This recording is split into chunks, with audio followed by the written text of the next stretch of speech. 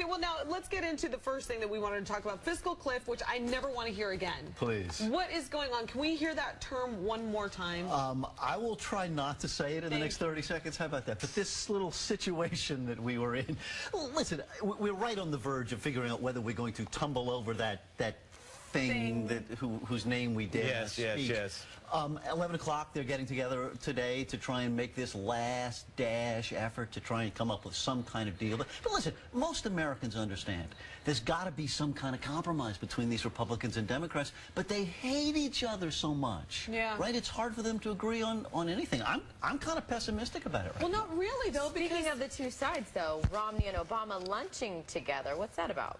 Well, listen. First of all, you've got to understand, just because you have lunch with somebody doesn't mean you like them. no, It's like that dating BFFs. site that's called Just Lunch. Like doesn't mean So anything. believe me, that's why. That's if you, if you if you really want to hang out with someone, do it at night. Would be would be my advice. You know, listen, Americans clearly crave our political leaders from different parties getting along, and these guys understand that. But I got to tell you, I think it's mostly show. I don't think they're going to be hanging out. I don't think they're going to be having beers. Or What they talk about? You know, I think mostly they avoid the tough stuff. They're not saying, I can't believe you said that in the debate.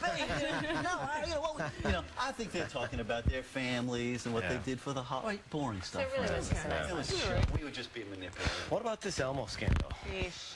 Uh, this, uh, this Kevin guy, right? Yeah. The voice Yeah, behind yeah, Kevin yeah, yeah. Clash. Yeah, is nothing sacred anymore? Well, nobody's saying tickle me Kevin. I'll say oh, that. gr- Oh, that was Oh, bad. Come on. this is You so know, bad. it's icky. I mean, you know, we would rather separate our cartoon and puppet voices Yeah. from, you know, the private stuff that that adults sometimes do in their lives. And it's just, when you have those things collide, I think it's, listen, how do you explain it to the kids? Elmo, this lovable character, this guy now with, with a number of different allegations from, from young guys saying that they had these inappropriate relationships. I, I just, you know what, I, I kind of want that one to go away. Yeah. Yeah, there's right. a lot more Yes. going on there than what Yeah. adults do in their lives. So Yeah. let's just move on. Can we- Well, I mean, okay, what about seriously. our obsession with Kate Middleton? Well, you were talking about pregnancies and tough pregnancies, right? I mean, she's boy, she's having a, a, a, tough a tough ride. Mm-hmm. Clearly, I think in America, right, we're more than 200 years away from having our own royalty, and we keep saying, well, you know, the Kennedys are kind of royal, or you know, the Bushes may.